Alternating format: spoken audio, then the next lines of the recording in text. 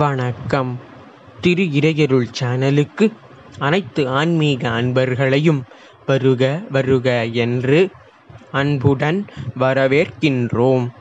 இன்றைய நமது பதிவிலே நாம் நூற்றி எட்டு வைணவ திவ்ய தேசங்களுள் இருபத்தி ஆறாவது திவ்ய தேசமாக விளங்கும் திரு இந்தளூர் அருள்மிகு பரிமள ரங்கநாத பெருமாள் ஆலயத்தின் சிறப்புகளை காண உள்ளோம். இத்தலத்தின் மூலவராக அருள் பாலிப்பவர் அருள்மிகு பரிமள ரங்கநாத பெருமாள். இவருக்கு வேதாமோதர் என்ற மற்றொரு பெயரும் உண்டு. இத்தலத்தில் அமைந்திருக்கக்கூடிய உற்சவரது திருநாமம் சுகந்த வனநாதர் இங்கு அருள் புரியக்கூடிய தாயாரது திருநாமம் பரிமள ரங்கநாயகி. இவளுக்கு சந்திரசாப விமோசன வள்ளி என்ற மற்றொரு பெயரும் உண்டு. இந்த திருத்தலத்தில் அமைந்திருக்கக்கூடிய விமானம் வேத சக்கர விமானம். தீர்த்தம் இந்து புஷ்கரணி. இந்த திருத்தலத்துடைய புராண பெயர் திருவிந்தளூர். அருள்மிகு பரிமள ரங்கநாத பெருமாள் ஆலயம் அருள் புரியக்கூடிய ஊர் இந்தளூர் மாவட்டம் நாகப்பட்டினம். இப்பொழுது இந்த ஆலயத்துடைய தல வரலாற்றினை நாம் காண்போம். நினைத்ததையெல்லாம் பெற்றுத்தரும் ஏகாதசி விரதத்தை அம்பரீஷன் என்ற மன்னன் பல ஆண்டுகளாக கடைபிடித்து வந்தான். இவன் ஏகாதசியில் விரதமிருந்து மறுநாள் துவாதசி நல்ல நேரத்தில் பிரசாதம் உண்டு விரதம் முடிப்பான். இவனது நூறாவது பிறந்த நாளில் சிறப்பான ஏற்பாடுகள் செய்யப்பட்டு இருந்தது. நாட்டு மக்கள் அனைவரும் மிகவும் சந்தோஷமாக இருந்தனர். ஆனால் தேவலோகத்திலோ அனைவரும் கலக்கமாக இருந்தனர். அம்பரீஷன் நூறாவது விரதம் முடித்துவிட்டால் தேவலோக பதவி கூட கிடைத்துவிடும். மாடி மானிடனுக்கு இப்பதவி கிடைத்துவிட்டால் தேவர்கள் மரியாதை குறைந்துவிடும் என பயந்தனர். இதனால் தேவர்கள் துர்வாச முனிவரிடம் சென்று அம்பரீஷனை எவ்வாறாவது நூறாவது ஏகாதசி விரதத்தை தடுத்து நிறுத்துமாறு கூறினர். துர்வாசரும் தேவர்களுக்கு உதவுவதாக தெரிவித்துவிட்டு மன்னனின் விரதத்தை தடுக்க பூமிக்கு வந்தார். அவர் வருவதற்குள் மன்னன் விரதத்தை முடித்திருந்தான். அவன் ஏகாதசி விரதம் முடித்திருந்தாலும் துவாதசி நேரம் முடிவதற்குள் அவன் உணவு அருந்தியிருக்க வேண்டும். அப்போதுதான் ஏகாதசியின் முழு பயனும் அவனுக்கு கிடைக்கும். துவாதசி நேரம் முடிந்துவிட்டால் பயனில்லை. துவாதசி ஆரம்பிக்க மன்னன் உணவு உண்ண தயாராகி இருந்தான். அதற்குள் துர்வாசர் வந்து விட்டார். நான் விரதத்தை தடுக்கத்தான் அவர் வந்துள்ளார் என்பது மன்னனுக்கு தெரியாது. முனிவரை வரவேற்ற மன்னன் தாங்களும் என்னுடன் உணவறிந்தனால் எனக்கு மிகுந்த சந்தோஷம் உண்டாகும் என்றான்.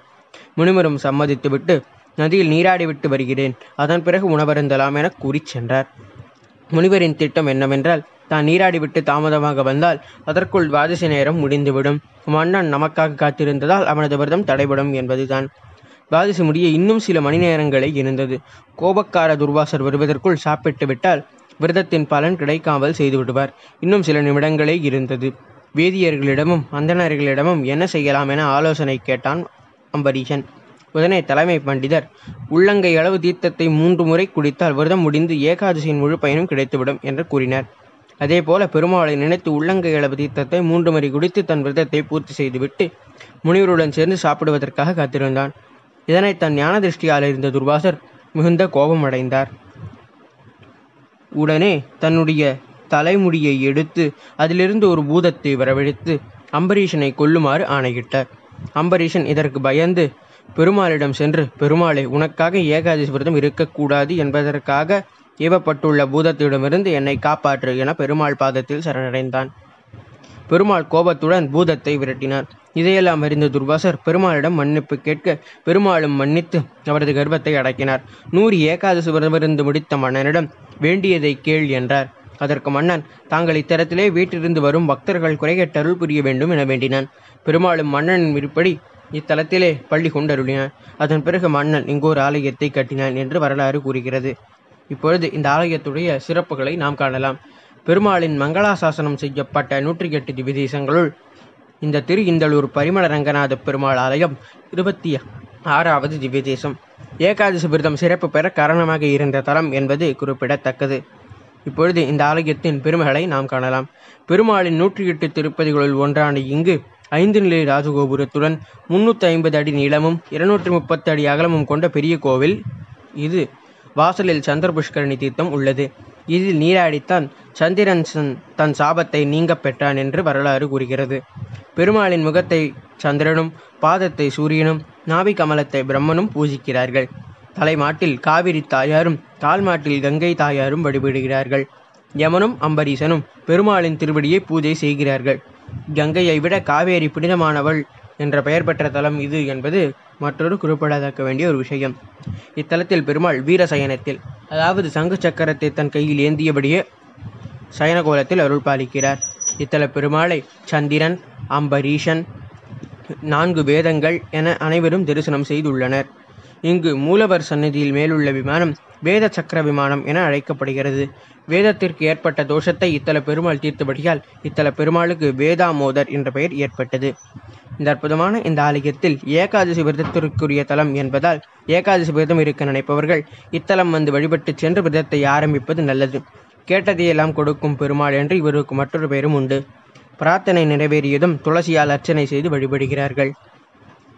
இந்த அற்புதமான இந்த ஆலயத்தை திருமங்கையாழ்வார் நான்காம் பத்து ஒன்பதாம் திருமொழியால் மங்களாசாசனம் செய்திருக்கிறார். இந்த ஆலயம் காலை ஆறு மணி முதல் பதினொன்றரை மணி வரையிலும் மாலை ஐந்து மணி முதல் இரவு எட்டு முப்பது மணி வரையிலும் திறந்திருக்கும். இந்த அற்புதமான இந்த ஆலயம் ஆகப்பட்டது மயிலாடுதுறையிலிருந்து இரண்டு கிலோமீட்டர் தொலைவில் தரங்கம்பாடி செல்லும் சாலையில் திரு இந்தளூர் என்னும் ஊரில் இருக்கிறது. இந்த அற்புதமான இந்த ஆலயத்திற்கு வந்து நீங்களும் இத்தல பெருமாளாகிய பரிமள ரங்கநாத பெருமாளையும் இத்தலத்து தாயாராகிய சுகந்தவன நாச்சியாரையும் வழிபட்டு வாழ்வில் சகலதமான நலங்களையும் பெற வேண்டும் என்று நான் பிரார்த்தித்துக் கொள்கிறேன். இங்கு சித்திரை மாத பிறப்பில் பெருமாள் வீதி புறப்பாடு நடைபெறும். அதேபோல ஐப்பசி மாதத்தில் பத்து நாட்கள் பிரம்மோற்சவம் வெகு விமரிசையாக நடைபெறும். நீங்களும் இந்த ஆலயத்திற்கு வந்து வாழ்வில் சகலதமான நலங்களையும் பெற வேண்டும் என்று பிரார்த்தித்துக் கொள்கிறேன். இந்த பதிவு உங்களுக்கு பிடித்திருந்தால் லைக் செய்யுங்கள். ஷேர் செய்யுங்கள். உங்களுடைய கருத்துக்களை கமெண்ட் செக்ஷனில் பதிவிடுங்கள். மறக்காமல் திரு இறையருள் சேனலை சப்ஸ்கிரைப் செய்துவிடுங்கள். அருகிலுள்ள பெல் பட்டனையும் பிரஸ் செய்துவிடுங்கள். நன்றி. அருள்மிகு சுகந்தவன நாச்சியா பரிமள ரங்கநாத பெருமாள் திருவடிகளே சரணம்.